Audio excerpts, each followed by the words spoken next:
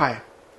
Let's take a look on Drumulator drum machine with specific banking option and it allows to switching from factory bank to custom banks and basically we have additional free custom banks. And uh, the way we are doing that that's not a switching by bank that's a switching by EPROMs. So I'm going to demonstrate how I did it and just to provide basic guidance how you can use it so first of all, you may see the number of switches here. And there is two switches for ROM A, two for ROM B, two for ROM C, and two for ROM D. And what does it mean actually? Uh, so let's take a look inside Drumulator. And uh, you may see that two switches are going directly to EEPROM there are no any additional boards like we have in Gel Copper kit or something like that. So and basically EPROMs are used there. They're just a four times more capacity than you have in the original one, and that means you can put four banks in each EPROM. So, for instance, uh, we have bank one that's a original bank, that's original factory bank we have a bank two that is a rock kit, really common one. You may hear it on many records. There is Bank 3. Bank 3 that's a special bank I did from my Fairlight. And that's amazing bank having classic sounds from Fairlight. And there is Bank 4. Bank 4 it's a custom bank and it has more dense type of kicks, snares, and hats um, you may see in the classic dance music and electronic music. Really good one and fat one. And each bank it has four ROMs. So because we have four four EPROMs in the kit. So it has four ROMs. And the way uh, Drumulator allocated ROMs is really interesting because well for instance ROM A it has only right sound. ROM B it has two toms sound, high tom and low tom. ROM C has hats, open and close hats. It has snare, it has click. And ROM D it has again big tom sound, bass drum sound, uh, rim, clap, and cowbell. So uh, now moving back. now let's power on machine, and I'm going to demonstrate just just a factory bank So factory bank, it's bank number one, as I said, and it uses the location number one on each ROM. And basically by uh, using these two switches on each ROM, we can do the combination of four different ROMs. And what does it mean? Actually, uh, uh, the main benefits of that that you can do that switching independently.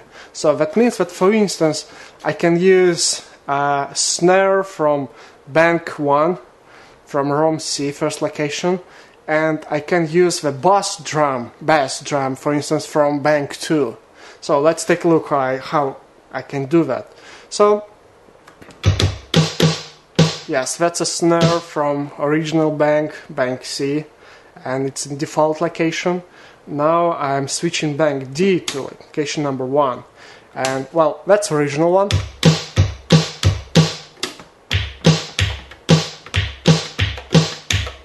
So, uh, well, that's that's a big benefit. That I'm not just switching the banks; I'm switching the different EPROMs in each bank. And for instance, if I want to switch to bank two completely, so that means I have to put all switch position to position number one.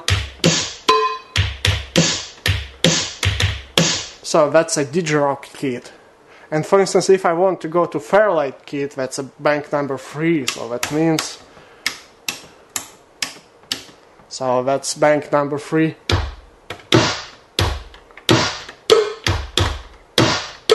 So that that's a real Fairlight kit that I captured from from my Fairlight machine. And what is actually bank 4?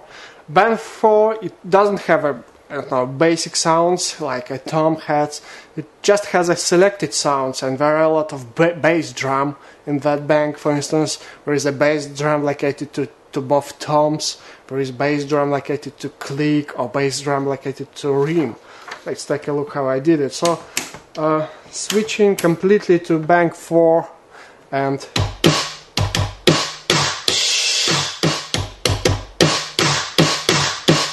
So you may hear two different snares and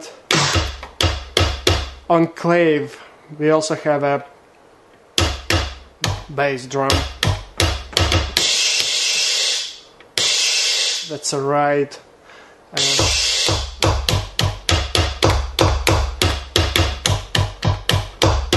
that's a great electronic sound and well and as I said we can combine these sounds by actually by banks.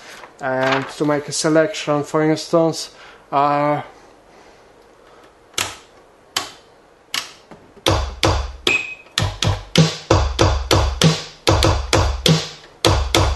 that's a bass drum from custom kit and snare drum from original uh, factory kit or for instance from from Fairlight kit.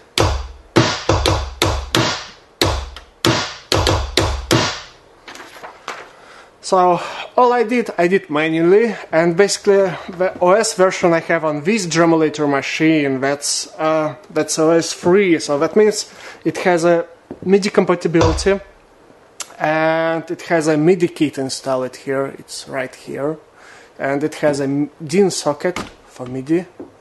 It's there so what I'm going to do now, I'm just enabling the MIDI and to enter to MIDI mode I have to press external clock and simultaneously run stop. So the display is off right now and that means I can use my MIDI.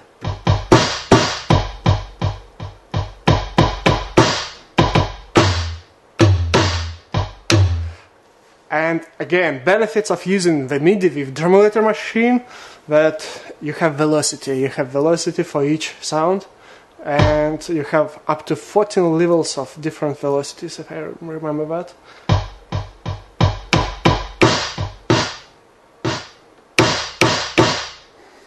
So that's it. That's amazing Drumulator machine with custom uh, bank switching and with really good sets of sounds for this machine.